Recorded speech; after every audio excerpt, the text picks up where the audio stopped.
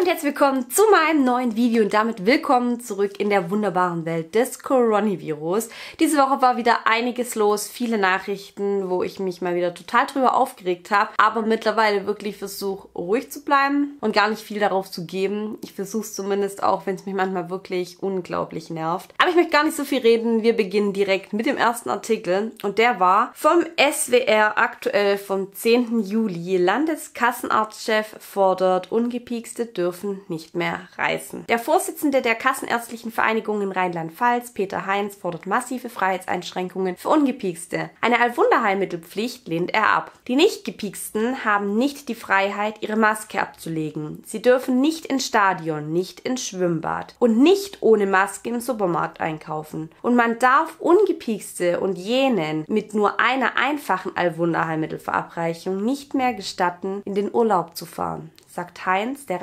Rheinzeitung. Auch mit Negativtest kein Urlaub. Selbst mit einem negativen Test dürften Ungepiekste seiner Ansicht nach nicht in den Urlaub fahren. Das Freitesten schützt ja nicht. Wer zum Beispiel auf eine Insel mit einem negativen PCR-Test fährt, kann sich dort sehr wohl anstecken, fährt wieder nach Hause und ist Virusträger. Und dann hat er noch gesagt, ohne Allwunderheilmittel keine Freiheit. Wer ungepieksten Freiheiten zurückgibt, verspielt die Chance, alle Menschen mit dem Allwunderheilmittel zu erreichen. So Heinz, man müsse den Menschen klar machen, ohne Allwunderheilmittel gibt es keine Freiheiten. Ohne diesen Druck werden wir die Menschen nicht überzeugen. Ungepiekste seien eine Gefahr für die Gesellschaft dürften daher nicht die gleichen Freiheiten wie Gepiekste bekommen. Allwunderheilmittelprämien hält Heinz für absurd. Eine Allwunderheilmittelpflicht lehnt er als Bevormundung aber ab. Freiheiten nur Gepieksten zu geben sei keine versteckte Allwunderheilmittelpflicht, sondern eine zwangsläufige Schlussfolgerung aus einer pandemischen Lage. Ja, so kann man natürlich sowas auch begründen, solche Aussagen. Es ist wirklich krass.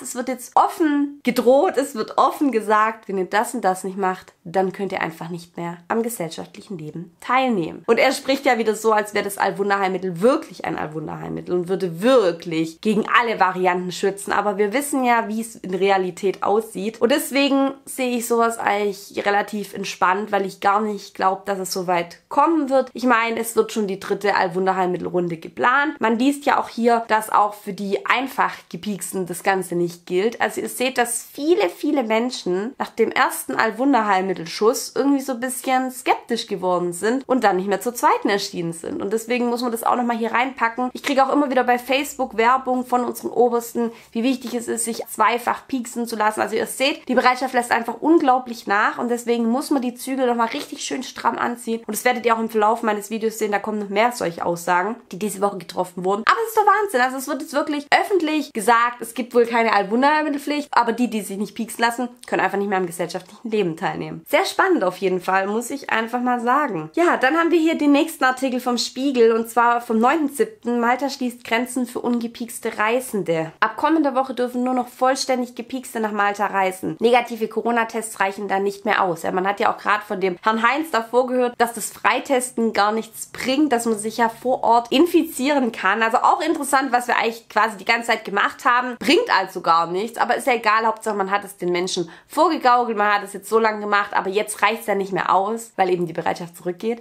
und deswegen muss man die Menschen richtig schön zu dem Allwunderheilmittel treiben. Es ist das erste EU-Land, das diesen Schritt geht. Mal das Gesundheitsminister Chris Ferne schließt seine Insel für Ungepiekste. Wir sind das erste EU-Land, das diesen Schritt geht, aber wir müssen unsere Gesellschaft schützen, sagte er bei einer Pressekonferenz. Ab dem 14. Juli werden wegen steigender Infektionszahlen bei der Einreise das Allwunder-Heilmittelzertifikat verlangt. Ja, bis jetzt war es mit dem PCR-Test, bliblablub und jetzt haben sie es einfach angepasst. Ja, warum nicht? Es sind einfach Länder, die es anscheinend auch nicht nötig haben, die hauptsächlich auch die älteren Menschen lieber empfangen, weil wir wissen ja, dass das eben der Hauptteil ist, der sich pieksen lassen hat jetzt in der Zeit. Und deswegen gehen halt jetzt die älteren Menschen dort Urlaub machen. Und halt ein paar von den anderen, die sich auch gepiekst haben. Natürlich, aber es ist wirklich gerade noch der Hauptteil, der das Ganze ausmacht. Die Alten sind einfach hauptsächlich gepiekst. Vor allem halt die im Altenheim, die sowieso nicht mehr in den Urlaub können. Also ich bin wirklich gespannt, wo das Ganze noch hinführt und wie viele Menschen natürlich auch noch einknicken werden mit solchen Drohungen jetzt und sich natürlich wieder denken, oh nein, was passiert hier? Ich muss jetzt doch mich pieksen lassen. Also wir müssen erstmal das Ganze abwarten, aber es ist wirklich, wirklich spannend. Ja, dann hatten hatten wir auch hier von unserem Ministerpräsident aus Bayern einen Artikel bei der Bild und zwar ohne Pieksen keine Freiheit. Deutscher Ethikrat fordert Allwunderheilmittelpflicht für Lehrer. Pieksen, pieksen, pieksen, pieksen, pieksen, pieksen, pieksen, pieksen, pieksen. Bayerns Ministerpräsident will das Allwunderheilmitteltempo erhöhen und er hat einen Plan. Also das wird er ja schon die ganze Zeit erhöhen. Der ist ja total abhicht darauf. Wir sind im Wettlauf mit der Zeit, mit der Delta-Variante, sagt er beim Besuch des Münchner Allwunderheilmittelzentrums. Ich glaube, das Angebot muss noch näher an die Menschen kommen. Am Dienstag will er in einer Kabinettssitzung ein entsprechendes Konzept vorlegen. Erhalten beispielsweise Pieksen to go und Allwunderheilmittel Verabreichungen an ungewöhnlichen Orten. Er versprach insbesondere mehr Freiheiten für vollständig gepiekste, vollständige richtige, unbeschwerte Freiheit gibt es nur mit Pieksen. Ohne Pieksen keine Freiheit. Jedenfalls nicht so in der Form, wie wir es uns vorstellen. Unter anderem sollten Quarantäneregeln für den Urlaub für zweifach gepiekste nicht mehr gelten. Der Ministerpräsident aus Bayern stellte aber auch eine Verbindung zwischen mehr Allwunderheilmittelverabreichung gerade unter jungen Erwachsenen und weiteren Öffnungsschritten her. Je mehr junge Leute gepiekst sind, und zwar zweifach, desto leichter können wir zum Beispiel auch bestimmte Angebote wie Clubs oder Diskotheken wieder in Erwägung ziehen, argumentiert er. Finanzielle Anreize für Allwunderheilmittel lehnte er dagegen als nicht angemessen ab. Er bekräftigt auf der anderen Seite allerdings auch eine formale Corona Allwunderheilmittelpflicht wolle man weiter auf keinen Fall. Ethikrat fordert Allwunderheilmittelpflicht für Lehrer. Und ihr habt ja bestimmt mitbekommen, in Frankreich wurde ja jetzt auch eine Allwunderheilmittelpflicht für das Pflegepersonal eingeführt. Man hat auch gesehen, die Demonstrationen werden größer, werden lauter, aber davon bekommen wir hier in Deutschland, die nicht über den Tellerrand hinausschauen, nichts mit. Wie kann verhindert werden, dass Schulen wegen Corona erneut geschlossen werden müssen und Kinder auch im Herbst die Hauptleidtragenden der Pandemie sind? Ein Mitglied des Deutschen Ethiksrats hat da eine klare Vorstellung. Wir brauchen eine Allwunderheilmittelpflicht für das Personal in Kitas und Schulen, sagt der Humangeniker Wolfram Henn. Und weiter, wer sich aus freier Berufswahl in einer Gruppe vulnerabler Personen hineingibt, trägt eben besondere berufsbezogene Verantwortung. Aber da frage ich mich, Lehrer und Erzieher, vulnerable Gruppen, also wir wissen ja, dass die Kinder so gut wie gar nicht von dieser Pandemie betroffen sind und auch nicht waren, auch keine Pandemietreiber sind und auch nicht waren. Also von dem her weiß ich nicht, was er da sagt. Genau, jetzt kommt. Zwar hätten Kinder selbst ein geringes Risiko, schwer an Covid zu erkranken, aber man müsste weiter damit rechnen, dass sie das Virus in ihre Familie tragen und Menschen aus Risikogruppen infizieren. Also ihr hört es wieder, wir machen es für die anderen. Also wir lassen uns nicht pieksen für uns, sondern wir machen es für die anderen, weil durch die Kinder wird es übertragen an die anderen Familienmitglieder. Ja, es ist immer wieder spannend, dass man sich wirklich nicht mehr für sich selber pieksen lässt, sondern für die anderen. Ja, dann hat er noch gesagt, so könnten etwa Krebspatienten wegen akuter Therapie noch nicht gepiekst werden, diese Risikogruppe, müsse man durch eine Allwunderheilmittelpflicht bestimmter Berufsgruppen schützen. Jo, da bin ich auch mal gespannt, wie viele Leute dann noch wirklich übrig bleiben zum Schluss. Hoffentlich haben wir dann noch genug Pflegekräfte, Lehrer, Erzieher, die das Ganze auch weiterhin stützen werden. Ich weiß es auf jeden Fall nicht, aber es ist doch schon wirklich der absolute Wahnsinn. Ja, dann hat unsere Oberste diese Woche ja mal wieder ein Interview gehabt oder eine Konferenz, wo sie einfach mal zum Fußvolk gesprochen hat. Es wurden Fragen gestellt von Journalisten und es wurde natürlich auch über die Allwunderheilmittelpflicht gesprochen und da meinte sie, im Augenblick wollen wir keine Allwunderheilmittelpflicht. Also im Augenblick, ich würde sagen, wir müssen jetzt erstmal gucken, wann der Augenblick vorbei ist. Ich meine, ein Augenblick kann schnell vorbei sein, ein Augenblick kann lange gehen. Aber ich bin schon wieder gespannt, wann die nächste Verschwörungstheorie wahr wird. Bitte erinnert euch an letztes Jahr, die ersten Demonstrationen, die in Stuttgart von Querdenken 711 stattgefunden haben. Da waren schon die ersten Leute mit Plakate, wir wollen keine Allwunderheilmittelpflicht oder Nein zur Allwunderheilmittelpflicht. Und wie wurden diese Menschen dafür belächelt, dass sie solche Schilder hatten? Sie wurden als absurd in den Mainstream-Medien hingestellt. Wie kommen die drauf? Was soll das? Und jetzt ein Jahr und ein paar Monate später sitzen wir in genau dieser Situation, dass überall die Allwunderheilmittelpflicht in aller Munde ist. Und jeder mittlerweile offen darüber spricht, dass es eventuell dazu kommen kann. Im Augenblick nicht. Aber es kann dazu kommen. Und vor allem für bestimmte Berufsgruppen. Ja, Wahnsinn. Wirklich absolut der Wahnsinn, wo wir mittlerweile gelandet sind. Und dann haben wir auch schon den nächsten Artikel vom GEA. Und zwar vom 14.07. Volle Grundrechte für Gepiekste und Genesene im Südwesten ab September. Da komme ja ich her. Baden-Württemberg plant die Abschaffung der Corona-Einschränkungen für Genesene und Gepiekste. Für die anderen steht künftig verstärktes Testen an, um am öffentlichen Leben teilnehmen zu können. Auch das hatten wir letztes Jahr schon, wenn ich meine alten Videos angucke. Ich, ich könnte meinen, das ist jetzt. Menschen mit vollem Allwunderheilmittelschutz gegen das Coronavirus und Genesene sollen nach Plänen des Gesundheitsministeriums in Baden-Württemberg von Anfang September an alle Rechte zurückbekommen. Für sie entfallen dann die Corona-Einschränkungen, wie eine Sprecherin des Gesundheitsministeriums am Mittwoch sagte. Zuvor hatten Stuttgarter Zeitung und Stuttgarter Nachrichten sowie Heilbronner Stimme und der Südkurier darüber berichtet. Testpflicht für Ungepiekste. Der Amtschef des Ministeriums Uwe Lahl sagte den Zeitungen, für nicht vollständige Gepiekste oder Ungepiekste solle es dann eine Testpflicht geben bei Besuchen von Restaurants, Bars, Clubs, Kultur- und Sportveranstaltungen. Wie gut, dass mich sowas gar nicht interessiert. Über den Sommer solle die Corona-Verordnung des Landes noch zweimal überarbeitet werden, ehe Anfang September die neue Regelung in Kraft treten könne. Unklar sei noch, ob die Pflichttests für nicht gepiekste oder nicht vollständig gepiekste,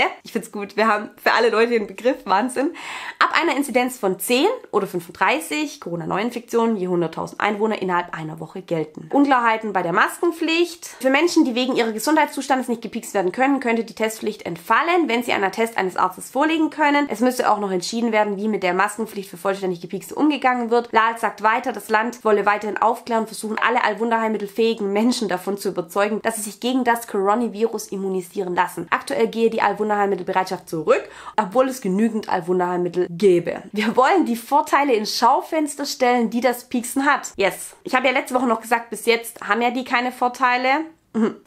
Es wurde jetzt natürlich wieder ein bisschen geändert. Ab September haben dann die Vorteile, weil die müssen sich ja nicht mehr testen lassen. Ja, und dann kommt noch, müssen Corona-Tests selber bezahlt werden. Da wird natürlich jetzt mal gesagt, dass es auch sehr teuer ist, die Tests. Und dass man dadurch natürlich die Kosten für die Tests nicht für immer übernehmen kann. Und dann sagt auch noch der Amtschef der Stuttgarter Zeitung und der Stuttgarter Nachrichten, das Leben für nicht gepiekste Erwachsene werde schon bald schwer werden. Diese Menschen würden in den kommenden Wochen viele Testungen benötigen, um am öffentlichen Leben teilnehmen zu können. Ja, es wird hier einfach mit unseren Grundrechten verhandelt. Entweder ihr lasst euch pieksen oder ihr lasst euch einfach nicht pieksen, müsst dann halt zahlen für die Tests, wenn ihr eben am öffentlichen Leben teilnehmen wollt. Ich bin froh, weil ich habe eigentlich seit das ganze Jahr angefangen hat, nicht mehr am öffentlichen Leben teilgenommen. Also ich war in keinem keinem Restaurant, ich war auf keiner Veranstaltung, einfach nirgendwo und ich habe überlebt. Also von dem her, sowas juckt mich einfach gar nicht. Und deswegen, ja, sollen sie es machen. Ich sage ja immer, wie lange wird es sein? Ich glaube auf jeden Fall nicht lange, weil ja immer wieder neue Varianten kommen und das Albunaheilmittel dann wieder nicht auslagen. Also von dem her lassen wir uns mal überraschen und machen wir uns nicht jetzt schon einen Kopf drüber oder uns total fertig. Das wird schon. Ja, dann hat unser Ministerpräsident aus Bayern getwittert. Pieksen ist der Weg zur Freiheit.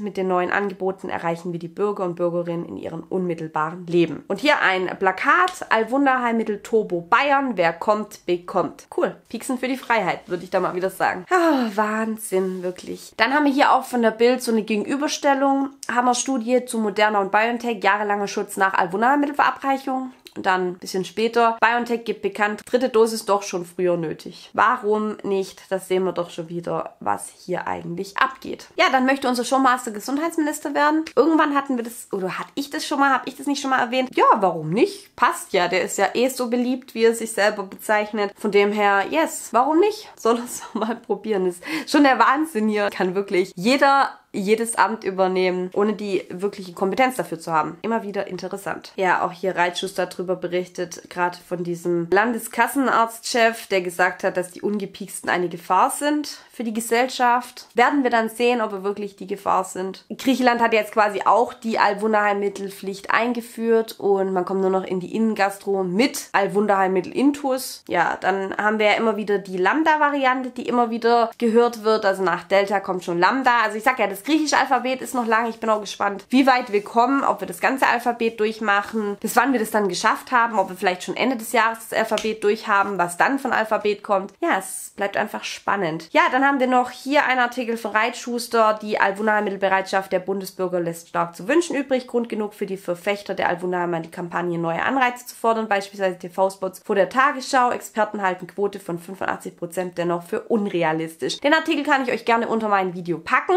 Wir wissen ja ja, dass die da oben immer wieder neue Ziele verfolgen. Gesundheitssystemüberlastung vermeiden, Intensivbetten volllaufen lassen vermeiden, verschiedene Inzidenzen, die wir immer wieder erreicht haben, aber dann auch wieder langweilig wurden. Jetzt natürlich ganz wichtig die Allwunderheilmittelquoten, dann natürlich auch die Kinder zu pieksen. Also immer wieder neue Ziele, um das Ganze einfach weiterhin spannend zu halten. Dann hat der Vorsitzende des Weltärztebundes Frank Ulrich Montgomery eine Aussage getroffen, wie wir werden in bestimmten Situationen immer Maske tragen müssen, Hände waschen müssen, Abstand halten und regelmäßig nachpieksen müssen. Und die Lockerungsübungen in Großbritannien kritisiert er mit deutlichen Worten. Das ist ein Artikel von der Welt. Ja, wenn er das sagt, für immer mit Lappen im Gesicht, für immer mit Abstand, für immer mit Hände waschen. Wie gesagt, meine Hände habe ich auch schon davor gewaschen, also daran liegt's nicht. Aber der Lappen, ja, der Lappen, der ist halt so, so, so toll, dass es nicht mehr Studien dazu gibt dass der so toll ist, weil der so toll ist, der Lappen. Dann haben wir hier einen Artikel von der Bild, wieder eine Verschwörungstheorie, die wahr wird. Alltours oder Alltours knallhart ab Ende Oktober nur noch gepiekste in Hotels. Yes! Dann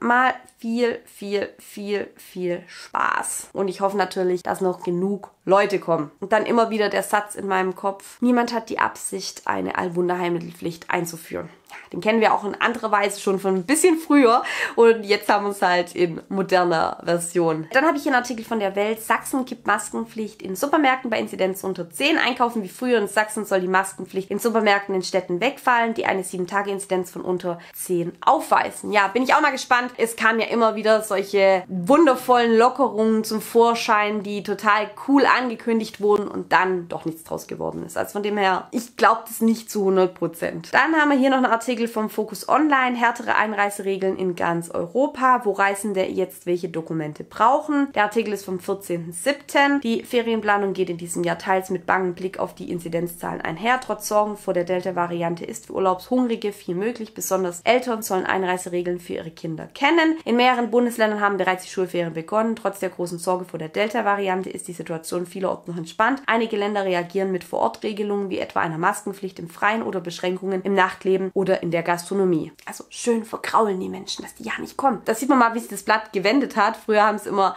angepriesen kommt zu uns in den Urlaub und jetzt äh, wollen sie es einem richtig schön vermiesen. Experten warnen trotz der entspannten Lage, wer eine Reise gebucht hat, sollte die Inzidenzentwicklung beobachten und die Auflagen kennen, die im Urlaubsland gelten. Obwohl die EU einheitliche Regeln innerhalb der Union gefordert hat, regeln die einzelnen Mitgliedstaaten Ein- und Ausreise für ungepiekste, genesene und vollständig gepiekste Touristen nach unterschiedlichem Schema. Obwohl die Lage entspannt ist und wir ja wissen, wie es um die Inzidenzen steht, muss man natürlich weiterhin ganz, ganz dolle drauf achten. Dann immer noch der absolute Trend und zwar die Kreuzalbwunderheim Arzneimittelverabreichung. Und ihr wisst ja, die WHO warnt und unser Gesundheitsminister empfiehlt. Die sind sich mal wieder richtig dolle einig. Die WHO spricht derzeit keine Empfehlung für Kreuzalbunheilmittelverabreichung gegen das Coronavirus aus. Bund und Länder unterstützen weiterhin die Empfehlung der STIKO nach einer Erstalwunderheilmittelverabreichung mit dem Vektor-Allwunderheilmittel von AstraZeneca bei der Zweit-Allwunderheilmittelverabreichung die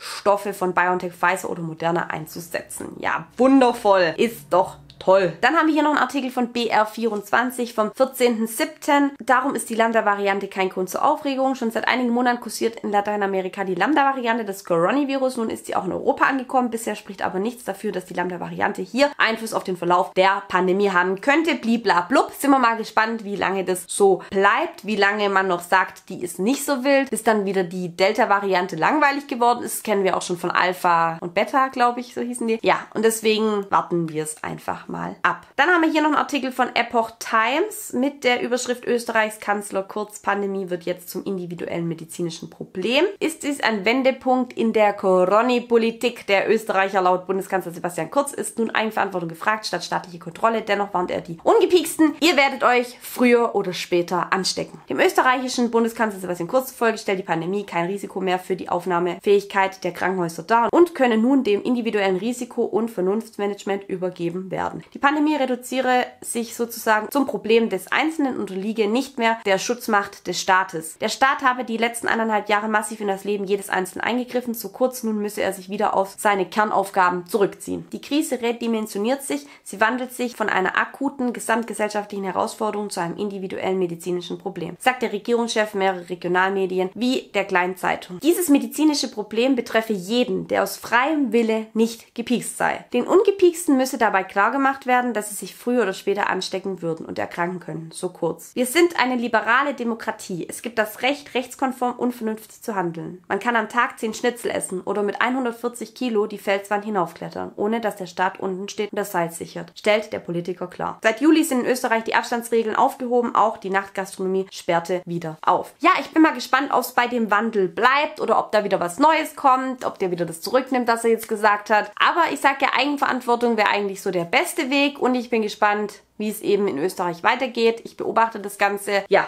nur leider haben wir hier in Deutschland keine Eigenverantwortung mehr. Wir müssen gesteuert werden, uns muss gesagt werden, was zu tun ist, weil sonst hat unser Leben leider keinen Sinn mehr. Dann habe ich noch einen Artikel von rtl.de und zwar vom 14. Juli. US-Behörden sehen Zusammenhang. Nach Fällen von Nervenkrankheit neuer Warnhinweis für Johnson Johnson Alwunder Heilmittel. Oh nein, das ist jetzt so ein Wort, was ich einfach nicht aussprechen kann. Julien Barré Syndrom als Folge von Coroni Alwunder Heilmittel. Die US-Arzneimittelbehörde FDA warnt vor einem erhöhten Risiko durch eine Allwunderheilmittelverabreichung mit Johnson Johnson an der seltenen Nervenkrankheit Julian-Barré-Syndrom zu erkranken. Das Allwunderheilmittel bekommt deswegen jetzt einen neuen Warnhinweis in den USA. Über 100 Fälle der Nervenkrankheit bei rund 12,5 Millionen verabreichten Allwunderheilmittellosen des Johnson Johnson Allwunderheilmittels soll es Berichte über 100 Fälle geben, bei denen die Krankheit mit Lähmungserscheinungen aufgetreten sein soll. Ein Mensch starb. Dann steht noch Warnhinweis, weiter Rückschlag für Johnson Johnson immer wieder was Neues. Und das Komische ist ja auch, dass bei uns die ganze Zeit AstraZeneca schlecht gemacht wurde. Dann hat man jetzt nichts mehr gehört. Und jetzt darf man quasi AstraZeneca oder soll man AstraZeneca nicht mehr als zweifach Allwunderheilmittelverabreichung nehmen, sondern einmal AstraZeneca und als zweites dann BioNTech oder Moderna. Also es ist wirklich komisch. Oder vielleicht liegt es auch daran, dass AstraZeneca kein mRNA-Allwunderheilmittel ist. Ich weiß es nicht. Vielleicht ist es denen einfach wichtig, dass jeder Mensch hier ein mRNA-Allwunderheilmittel-Intus hat. Keine Ahnung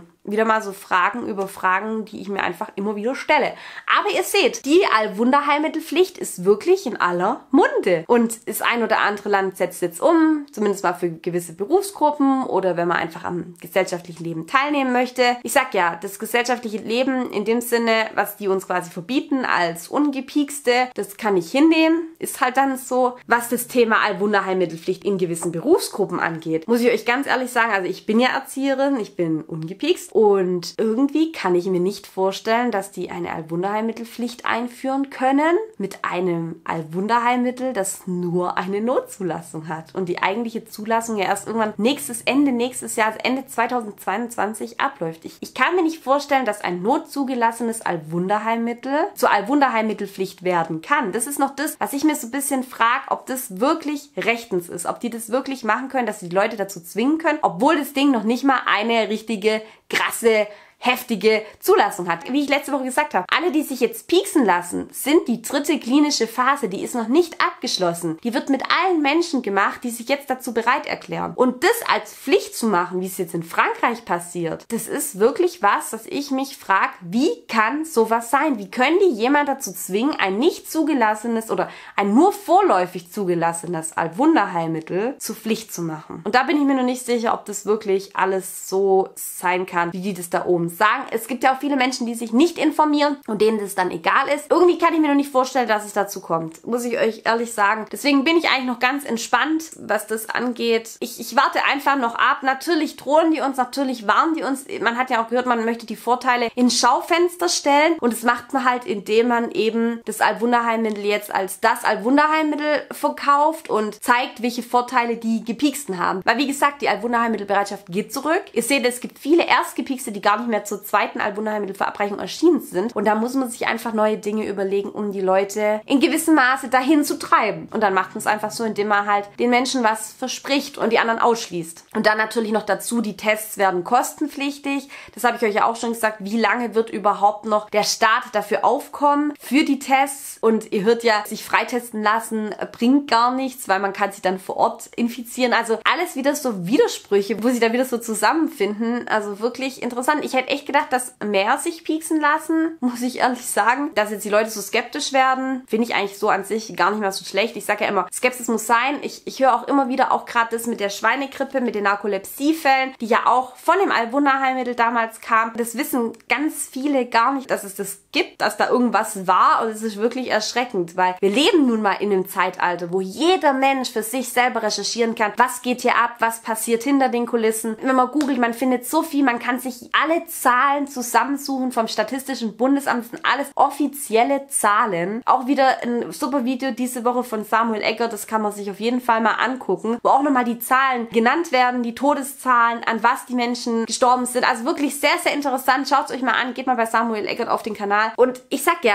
wir leben in einem Zeitalter, wo wir die Möglichkeit haben, wo wir nicht nur irgendwie von der Zeitung berieselt werden, sondern wir können wirklich selber recherchieren. Aber die Leute sind so faul geworden. Ich verstehe einfach nicht warum. Ich sage ja immer, das ist eine Pandemie der Faulen und der Gemütlichen und ich lasse es machen, egal was. Sonst googelt man ja auch jeden Pups. Manche googeln jeden Krankheit, jedes Symptom, das sie haben, aber da sind sie sich irgendwie zu schade drum oder zu faul für oder ich weiß es nicht. Ich weiß nicht, warum die Leute nicht einfach mal recherchieren oder auch mal schauen, wie es in den anderen Ländern aussieht. Zum Beispiel, wenn wir nach Amerika gucken, da gibt es so viele Bundesstaaten, die mittlerweile diese ganzen Maßnahmen aufgehoben haben. Texas zum Beispiel, das ist so ein Paradebeispiel. Da sind die Zahlen so krass in den Keller gegangen, nachdem sie die ganzen Maßnahmen aufgehoben haben, unter anderem auch die Maskenpflicht. Genauso wie Schweden, auch wenn Schweden immer so hingestellt wird, als wäre das Land ausgestorben, ist es einfach nicht. Man muss einfach recherchieren. Das Internet ist so groß, da findet man einfach alles und warum macht man das einfach nicht sich zu eigen und sagt, okay, ich recherchiere jetzt mal, was ist da eigentlich oder was war das schon mal? Auch das jetzt mit dem Ausschließen, gerade das mit der Zweiklassengesellschaft, das ist alles das, vor dem wir vor einem Jahr schon gewarnt haben, dass das dazu kommt, wegen dem wir auf die Straße gegangen sind. Schon so viel früher, als es noch gar nicht so richtig seinen Lauf genommen hat. Und auch das mit der Allwunderheilmitpflicht und wie wir belächelt wurden und uns gesagt wurde, hey, was seid ihr für Spinner? Was habt ihr für ein Problem? So weit wird es nie kommen. Wenn wir uns alle an die Maßnahmen halten, dann ist es alles wieder ruckzuck vorbei. Und ihr seht. Es ist nicht vorbei und es kommt immer wieder was Neues und die Varianten und es mutiert und es macht und tut und immer wieder kommen neue Dinge auf uns zu und all das, was wir vor einem Jahr gesagt haben, genau das trifft ein nach und nach. Deswegen, ich bin wirklich gespannt, wie es weitergeht. Ich bin wirklich gespannt, was noch alles passieren muss und ich bin gespannt, ob wir dann irgendwann wirklich die Allwunderheilmittelquote von 85 bis 90 Prozent erreichen werden. Ich sage immer, ich würde mir am liebsten ein T-Shirt drucken, wo drauf steht, nicht getestet, nicht gepiekst, nicht genesen, aber gesund. Weil das Wort gesund, das ist mittlerweile einfach aus diesem Sprachgebrauch gelöscht worden. Es gibt nicht mehr gesund. Es gibt genesen, es gibt getestet, es gibt gepiekst, aber gesund nicht. Und gesund ist doch das Wichtigste. Alle wünschen sich Gesundheit. Und ich bin gesund und das ist doch die Hauptsache. Da muss ich nicht getestet, gepiekst oder genesen sein. Nein, ich bin einfach nur gesund. Und das ist für mich die absolute Hauptsache. Und mir geht's gut und alle um mich rum sind gesund und das macht mich glücklich. Dafür brauche ich nicht irgendwas, was die mir da oben sagen, weil ich weiß, dass ich gesund bin. Und ich weiß auch, was es für schlimme Krankheiten gibt. Und darum bin ich unglaublich dankbar, dass ich gesund bin und es mir so gut geht. Das war das Wort zum Sonntag und damit wären wir am Ende meines Videos angelangt. Denkt immer dran, Liebe verbindet und schafft Zusammenhalt. Ganz wichtig, schreibt euch in euer Kalender 1. August 2021. Wir sehen uns alle in Berlin. Ich freue mich schon unglaublich drauf. Auf diesen wundervollen Tag. Ich habe den letzten genossen. Ich habe Bilder angeguckt, ich habe Videos angeguckt. Ich hatte Gänsehaut am ganzen Körper und deswegen freue ich mich unglaublich auf den 1. August 2021 in Berlin. Ich hoffe auf jeden Fall, euch hat mein Video gefallen. Lasst mir gerne einen Daumen nach oben da. Schreibt mir auch gerne was unten in die Kommentare und vergesst auch unbedingt das Abonnieren. Ich schaut gerne bei meinem Telegram-Kanal vorbei und dann sehen wir uns nächste Woche Sonntag um 12 Uhr wieder. Bis dahin, sag ich Tschüss. Mua.